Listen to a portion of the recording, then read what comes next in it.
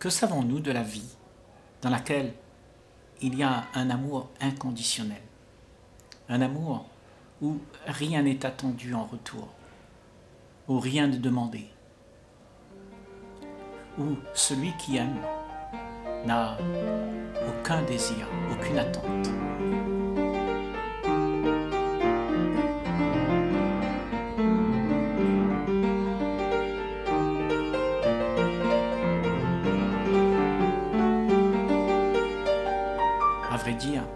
Savons pas grand-chose. En soyant honnêtes avec nous-mêmes, nous ne savons pas c'est quoi aimer sans jamais rien attendre, rien demander. Il y a toujours quelque chose derrière.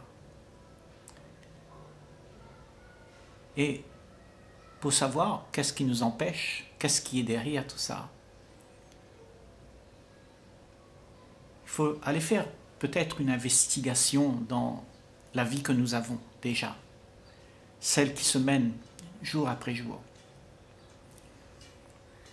ou dans le monde entier, on est tous conditionnés à prendre quelque chose, à gagner quelque chose, à réussir, à avoir quelque chose qui va nous donner un peu de répit à cette vie sans amour, où tout le monde voudrait cet amour, mais personne n'est prêt à le donner de cette manière.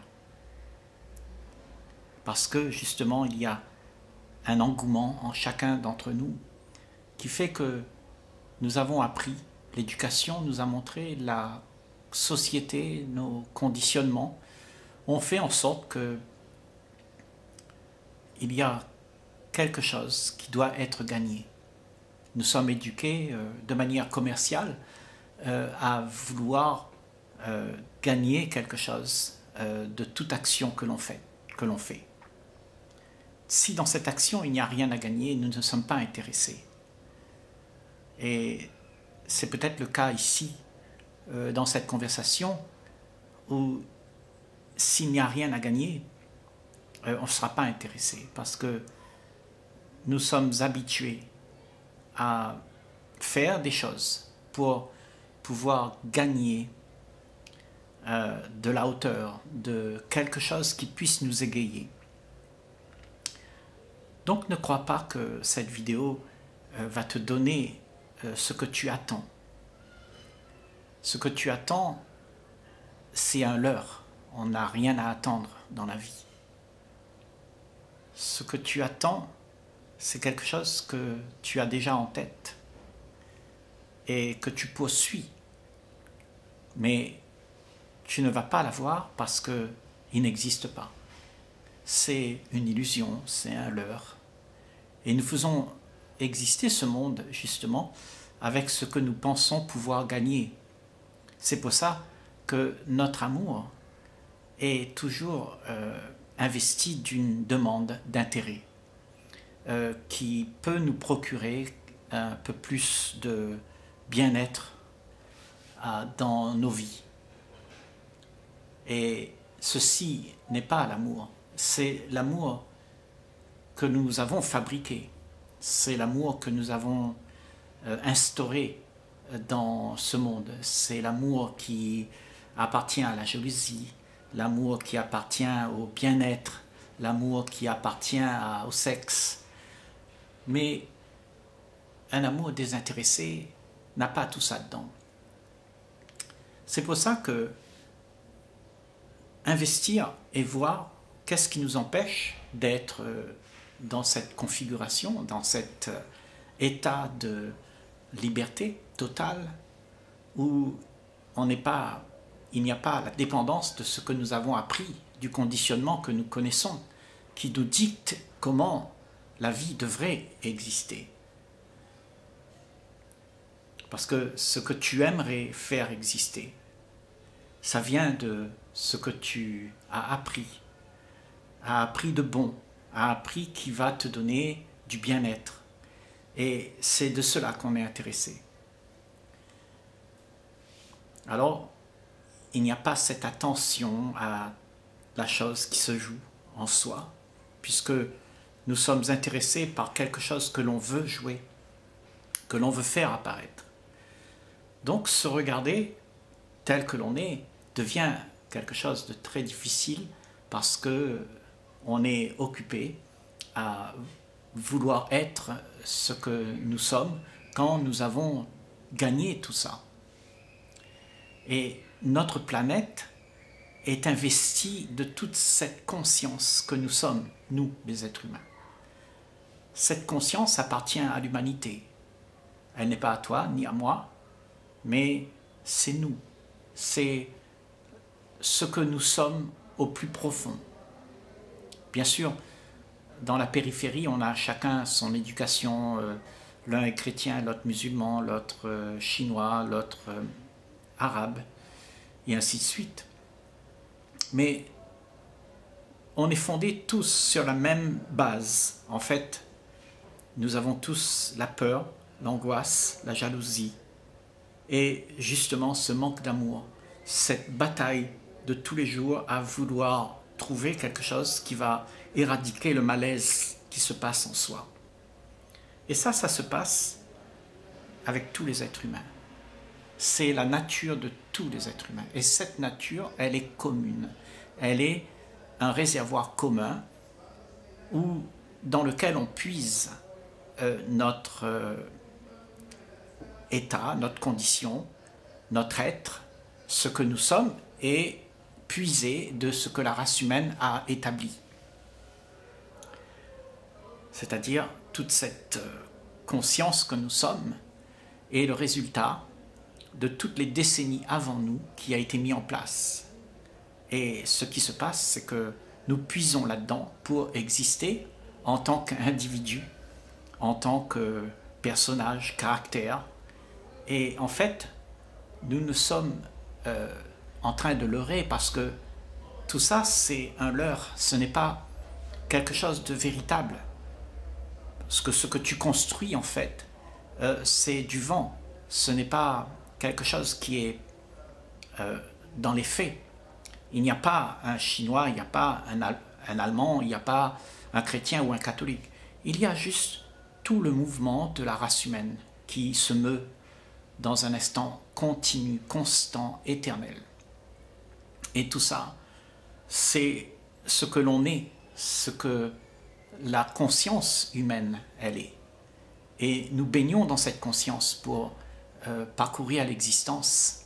Et cette conscience, justement, euh, elle est tout ce que nous sommes, tout ce que nous avons vécu, les batailles, les guerres, les, les gens qui meurent de faim, tout ce qui se passe dans le monde.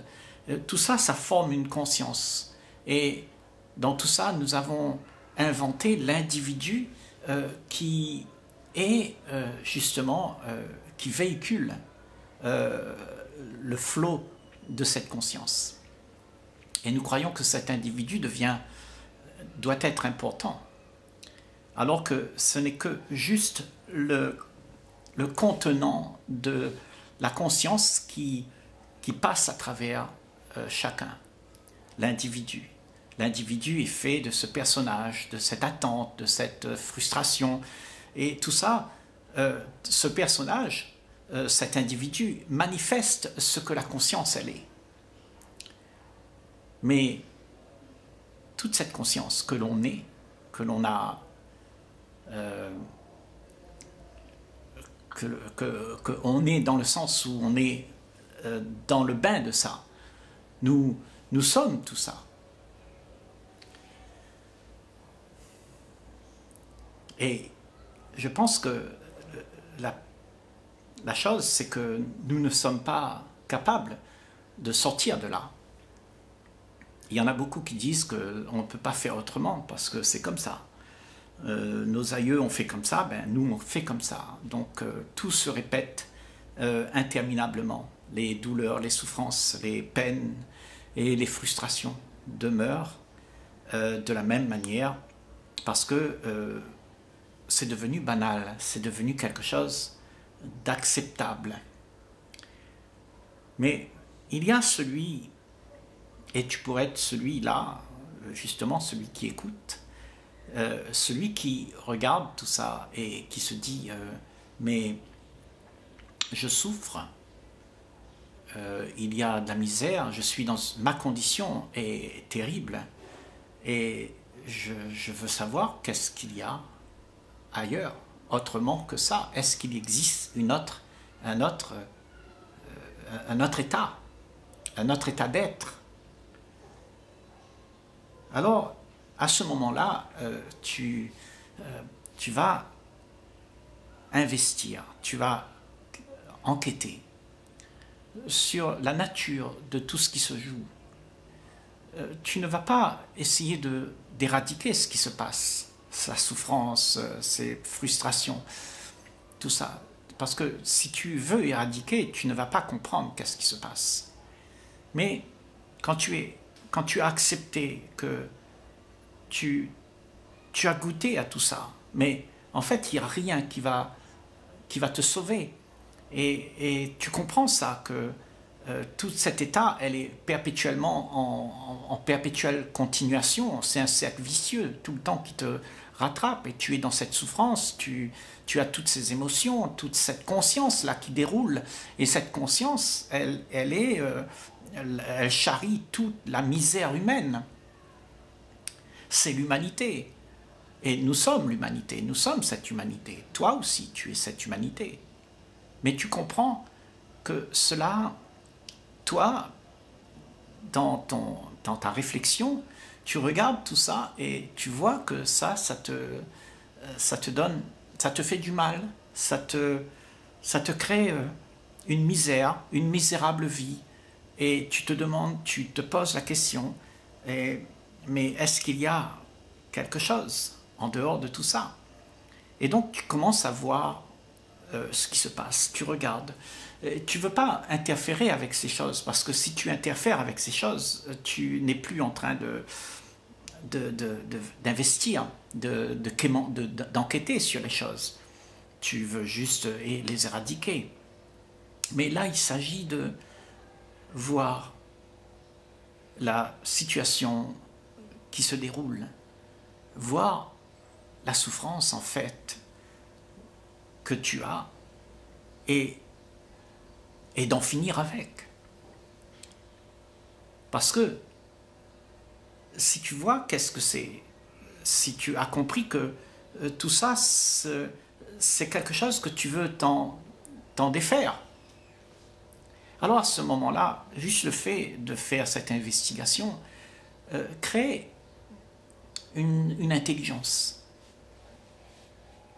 une intelligence est née de toute cette, euh, toute cette attention euh, sur ce qui se passe. Et cette attention euh, te fait sortir de tout ce courant, de toute cette vie, de toute cette conscience qui se déroule. Et en fait, tu t'aperçois que tout l'ensemble, le bloc de tout ça, c'est quelque chose qui, est en permanence en train de, de se passer. Et toi, quand tu sors de là, tu vois au-dessus de tout ça. Et tu vois toute la futilité de tout ça. Tu ne juges pas, tu ne dis pas que c'est bien ou c'est pas bien. Parce qu'à partir du moment où tu dis que c'est bien ou c'est pas bien, tu retournes dans, dans cette conscience. Parce que cette conscience, c'est justement, elle est en rivalité avec elle-même. Donc, tu es toujours en train de, d'essayer de, de, de, trouver une issue. Mais ce n'est pas une issue qu'il faut trouver, c'est tout simplement de voir ce qui se passe, voir euh, l'envergure dans, dans quoi De ce que tu es embarqué dedans, de ce qui t'entraîne dans ce chemin euh, vertigineux où il n'y a que souffrance à la fin, c'est ça qu'il faut voir. Mais pour voir ça, justement, ben, il ne faut pas que tu commences à, à, décrire les choses comme étant bien ou pas bien, mais accepter de voir ce qui se passe. Et dans cette acceptation, justement, je disais, il y a une, une, élévation, euh, une, perception, une intelligence et cette intelligence, euh, n'a rien à voir avec la conscience qui coule. Cette intelligence est au-dessus de cette conscience. Elle voit les choses. C'est la nature de celui qui a fait cette investigation. C'est la, nature de celui qui, qui a pris, qui a eu l'audace de se poser des questions et de ne pas être un mouton, de toujours courir avec le courant de cette conscience qui, qui est un fort courant qui entraîne tout avec lui. Donc ce que tu es à ce moment-là est quelque chose de, de, de séparé de tout ça. Tu, tu vois les choses et tu vois ce qui se meut et tu ne n'es pas embarqué dans le courant. Tu restes stable. Tu es à l'écart. Tu es dans le silence d'un fort intérieur qui te fait voir ce que le monde est, ce qui se joue. Et tout ce qui se joue à ce moment-là, quand tu vois ça, quand tu as compris que tu as sorti de ça, alors il y a une certaine compassion euh, qui vient avec cette intelligence dans ce regard. Il y a cette compassion pour tout ce qui se joue dans ce monde. Mais tant qu'on ne sera pas libre de toute cette euh, conscience que nous avons mis en place, que nous avons été prisonniers dedans, euh, que nous, avons, nous nous sommes embarqués dedans, tant qu'il n'y a pas une liberté à ça, eh bien, le monde continuera à se perpétuer ainsi. Et justement, il y a cette attention justement à, à ce qui se passe. Et c'est dans cette attention que se fait l'investigation. Se fait, c'est une attention qui, n'attend rien, qui n'a pas de choix. Il voit, il regarde. Et quand il voit, alors il y a justement cette intelligence, cette perception qui organise un autre monde, une autre dimension. Cette, cette perception est une autre dimension de ce qui se passe. Parce que tu ne contribues plus à faire exister la conscience que le monde euh, continue à être euh, emprisonné dedans. Tu es libre.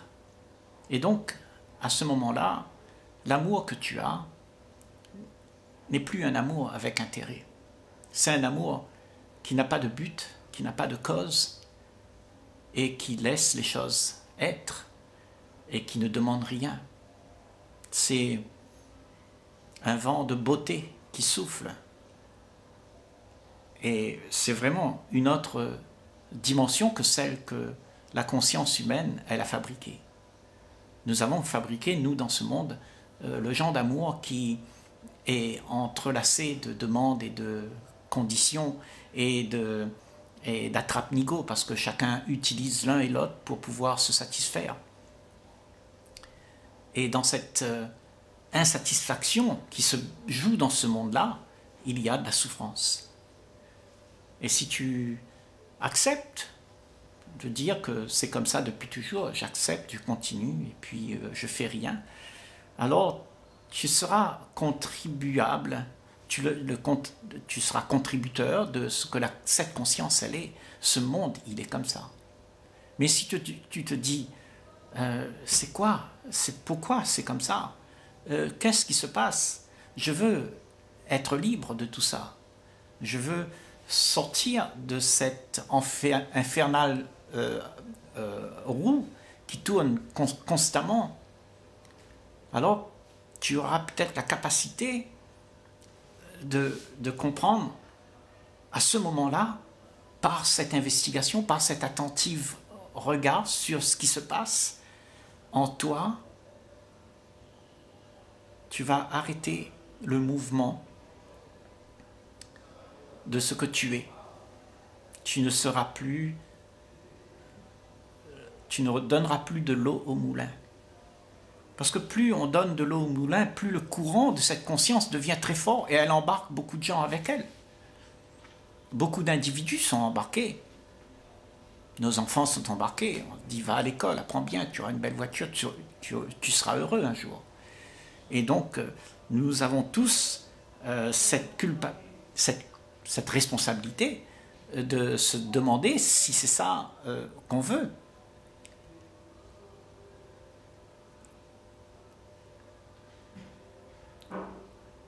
Parce que on regarde le monde et ce que le monde est devenu, c'est quelque chose qui n'est pas qui est dans une condition désastreuse. Et cette intelligence, justement, le fait de se poser cette question crée cette intelligence. Mais c'est une question pertinente, qui n'a pas d'intérêt, qui ne cherche pas à accomplir rien, qui est sans, sans choix, qui voit et qui accepte ce qui se passe. Parce qu'en acceptant, alors on voit toute la misère. On n'est plus leurré par la misère. Parce que la misère peut te dire oui, mais encore un petit peu, c'est pas grave, euh, on va arranger ça demain. Et donc, euh, tout ce que tu veux, c'est que demain, ce sera mieux. Tu as inventé le temps pour pouvoir te dégager de ta responsabilité. Mais ta responsabilité, c'est de sortir de là.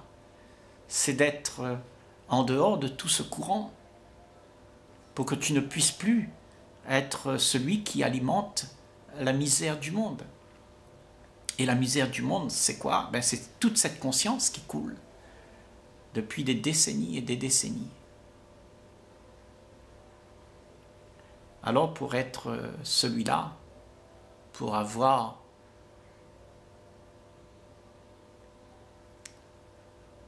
pour, avoir eu l'attention de regarder et de voir euh, ce qui se passe sans critiquer, sans demander, pour avoir eu ça. Alors, tu es euh, celui qui est différent de tout ce qui se passe, de tout ce qui se joue. Celui-là, il est complètement authentique. Authentique de tout ce qui se joue dans le monde, de tout ce qui se passe, de toute conscience, parce que la conscience, en fait, elle est empruntée. On la copie. Mais toi, quand tu n'es plus dans cette conscience, quand tu t'es libéré de toute cette souffrance, de toute cette angoisse, de toute cette personnalité, de tout ce, qui se joue, alors tu es quelque chose qui n'a rien à voir avec ce qui se passe. Tu es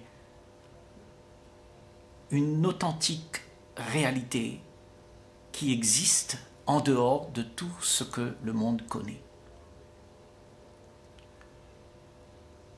Normalement, dans ce monde, on ne connaît pas ça. On aimerait l'avoir parce qu'on a entendu parler de ça. On a lu des textes, des, des gens qui racontent comment c'est. Mais personne ne peut te donner ça.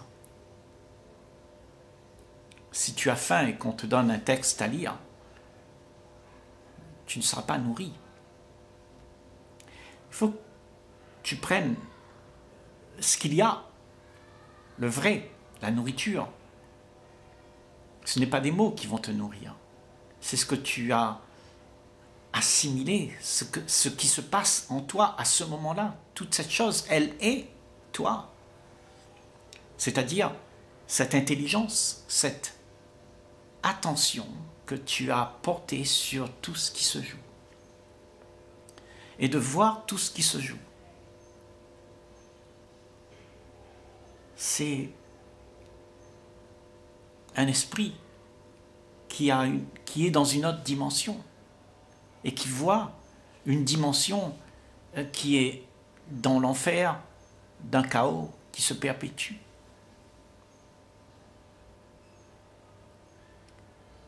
C'est ça être attentif, attentif à tout ce qui se joue pour pouvoir se dissocier de ça. Parce que si tu es associé à ce mouvement, si tu es embrigadé dans ce mouvement, si tu es enrôlé là-dedans, tu es ce, ce mouvement. Tu n'es pas différent de ce mouvement. C'est seulement quand tout s'arrête, quand il n'y a plus cette envie, ce désir, euh, cette, euh, cette demande euh, de l'intérêt personnel, quand il n'y a plus ça, c'est alors que tu sors du marasme. Et quand tu sors du marasme, tout est fini. Il y a une intelligence, il y a un état autre que ce que nous connaissons tous. Et cet état, c'est la liberté. Si on ne connaît pas cet état, alors le monde se perpétuera ainsi, de la même manière. Parce que qu'est-ce qui crée cet état? C'est justement euh, toute l'éducation, tout ce qui s'est passé dans notre vie, qui a fait que tout s'embobine dans un même cheminement et nous sommes euh, impliqués dans des choses que nous ne voulons pas faire, mais nous le faisons quand même et ça nous fait souffrir parce qu'on s'attache, parce qu'on voudrait euh, perpétuer la chose et on s'assimile à tout ça. On dit ça c'est mon enfant, ma voiture, mon argent. Et donc on a peur de perdre. Et tout ça, ça crée cette conscience. Cette conscience qui est en fait euh, une illusion. Ça n'existe pas ce qui existe, c'est quand tu as, tu t'es posé la question, qui suis-je? Alors que tu as cessé d'être embarqué par la souffrance, par toute la misère du monde, et que tu as retrouvé l'essence de cette intelligence, c'est alors qu'il y a quelque chose de réel, de vrai, de pur, d'incorruptible, d'immuable. Autrement, tout ce qui se passe dans cette, dans cette euh, roue, dans cette obsession, n'est que changement perpétuel et souffrance perpétuelle. en dehors de ça, quand tu t'es libéré de tout ça, prends fin. Tout ce que moi est. Parce que ce moi qui est, qui a été inventé dans ce, dans ce courant, dans cette conscience, c'est une invention de ce qu'on devrait être pouvoir exister dans ce monde où la roue tourne sans fin. Mais cette existence n'a pas lieu. Il n'y a personne. Il n'y a que l'intelligence, l'amour et la joie. Et ça, c'est parce que tu as investi, tu as, tu t'es questionné et tu es sorti de tout ce qui se passe. Ce qui se passe est un leurre. Ne sois pas embarqué dedans.